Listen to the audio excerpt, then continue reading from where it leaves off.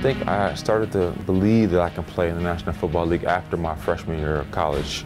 Um, I had a good year, and then I really started getting strong that offseason. And it was the offseason I lost my mother too. So I think as a 19-year-old, I was really, really forced to grow up very quickly. In all the, distress and drama and pain that I was feeling, I just put that into ball. I just lifted harder, I ran harder, I worked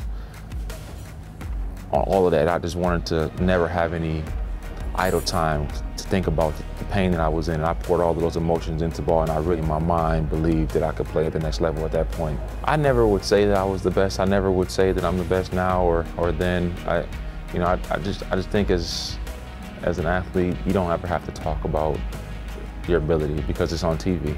It's for the world to, to look. If you're the best, everybody will know that you, you are the best, and that's kind of been my mindset.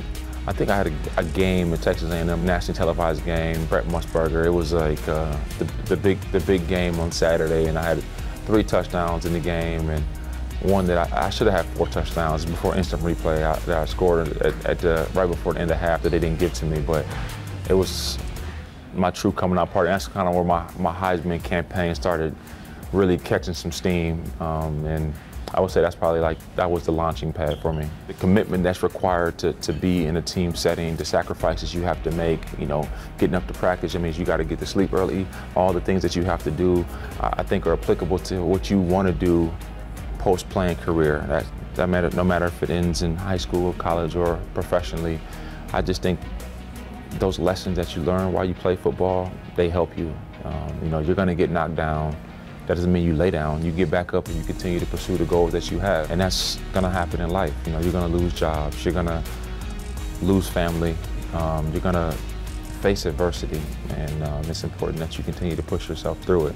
As soon as that, that clock strikes zero and you come in that locker room after a win and everybody's just so happy and guys in there hugging and all the hard work that you put in that week and the film study, the 80 hours you, you put in for that week, it just, it, it makes it feel special. You go home and you have a nice dinner and you wake up and it's time to get back to it again and prepare for the next one. But for that 24 hours though, I mean, you're on, you're on cloud nine and that's a, that's a feeling that uh, I know when I'm done, I'm, I'm gonna miss that. Well, life in general, I'm, I'm 35 years old. I have, a, I have a long way to go. I'm learning every single day.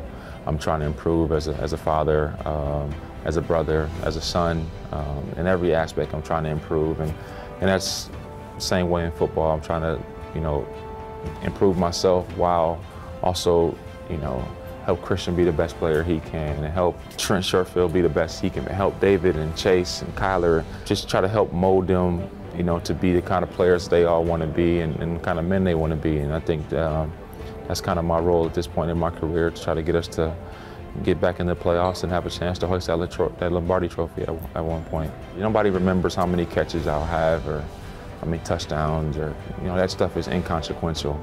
Um, people don't ever forget, Maya Angelou said, people don't ever forget how you make them feel. And you know, if you do right, you touch people and you show a, a, a true passion and interest in people, they won't forget that.